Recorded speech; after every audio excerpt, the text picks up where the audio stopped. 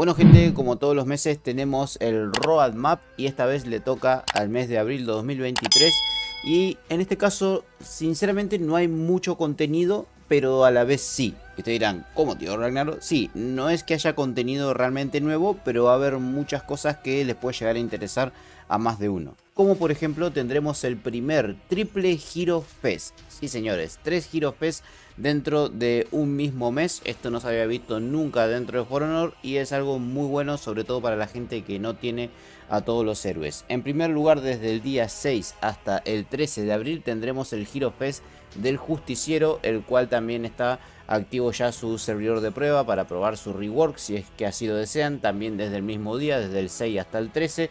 Y recordad de que en cada Hero Fest este héroe se puede usar de forma gratuita si es que no lo tienen comprado.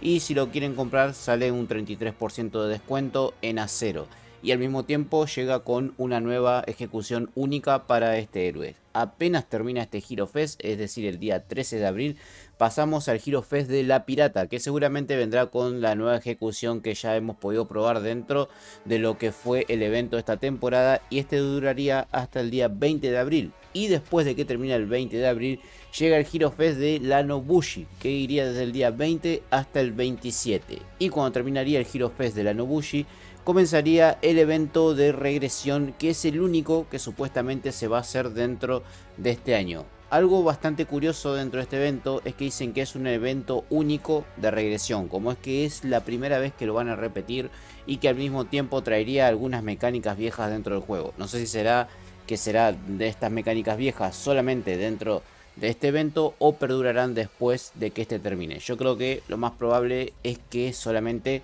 se pueda usar de estas mecánicas antiguas dentro del evento. Vamos a ver de qué se trata, me tiene con bastante curiosidad en este caso, así que veremos qué pasa. Al mismo tiempo, desde ese día tendremos un Free Event Pass, es decir, que tendremos un pase de batalla gratis que vamos a poder lootear armas, por lo general en este caso se lootean armas y efectos para todos los héroes y al mismo tiempo tendremos un Battle Point Fest, es decir, que podremos, digamos, subir más rápido el pase de batalla que es el de pago. Y después de eso ya terminaría el mes de abril y tendríamos que esperar a ver qué sucede dentro del próximo mes, que ya se van a ir sabiendo seguramente noticias de lo que va a ser la próxima temporada, que es la temporada en la que llegaría el nuevo héroe. Pero recuerden que el nuevo héroe va a salir en la mid-season, así que esto lo situaría aproximadamente dentro del mes de junio o julio.